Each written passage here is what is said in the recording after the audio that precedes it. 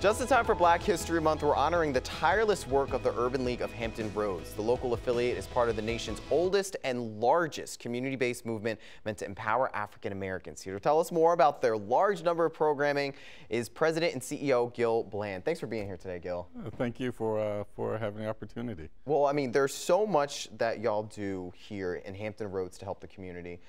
Let's start just touch on the four pillars. Well, first, let me just say uh, thank you to Wavy TV for uh, honoring Black History Month.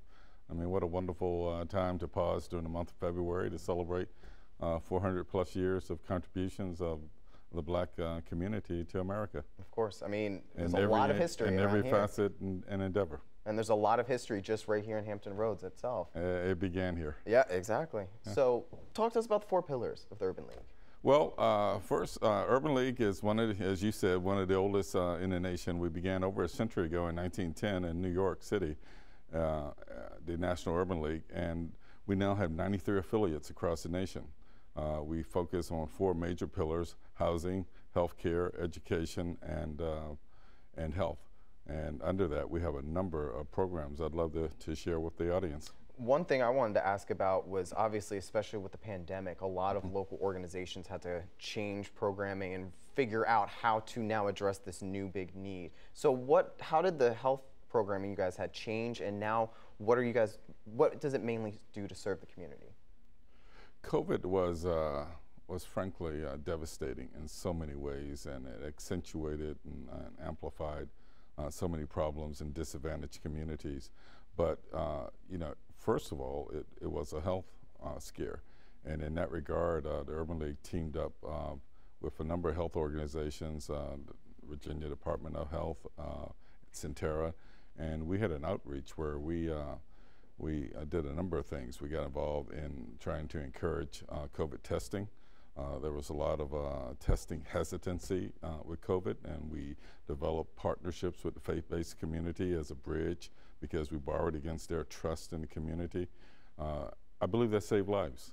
Uh, as the vaccination continued to evolve, we got involved with actually vaccinations and uh, you know past the testing yeah. stage and again you know challenges but you know i joined with pastors we were actually videotaped to say it's okay uh, we understand the historical uh, concerns some of which are real uh, some of which uh, no longer exist and uh, we work to to build trust. We're talking about some of the other programs here because you guys got a lot you do out here. they do a lot of programming. So let's talk about education.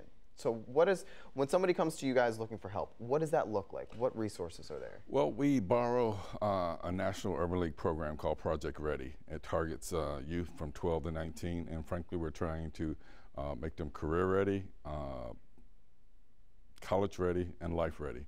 And we work with them in a number of things. We also uh, added to that this fall a program with the governor of Virginia and, and the Secretary of Education where we created a a historical collaboration with HBCUs across the Commonwealth, uh, Virginia Union, Virginia State, Hampton University, and Norfolk State University, and in the six uh, major urban core cities of Richmond, Petersburg, Newport News, Hampton, Norfolk, and Portsmouth, uh, we developed a tutoring mentoring program where HBCU students will tutor students in high schools and middle schools in those uh, six core areas. The pandemic um, really accentuated a learning loss yeah. uh, on children who were least able to afford a learning loss, and we're trying to to bridge that gap. Yeah, I, we're already running out of time. We have a lot we can more we can talk about here. But just what's the main message you want people in the community to know here?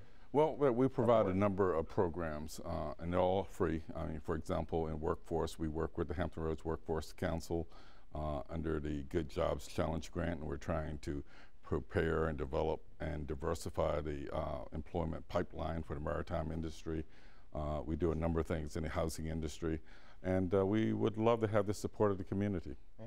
All right, well, perfect. And I'll have ULHR.org. I was literally about to plug that. is an opportunity to donate for $50 to become a member, or you become a member of our guild, which are 40 plus in age, or the uh, young professionals, which is uh, 40 under. Plenty of ways to help and plenty of ways to get help. Thank you for being here today, Gil. Thank you thank for, you for giving us the do. opportunity to talk. Hey, of course. All right, and I'll have more Great. information. Thank you, and we'll have more information on wavy.com as well. Stay with us. We'll get another check of your forecast with meteorologist Steve Fundaro, and then Nathan Epstein has the sports wrap.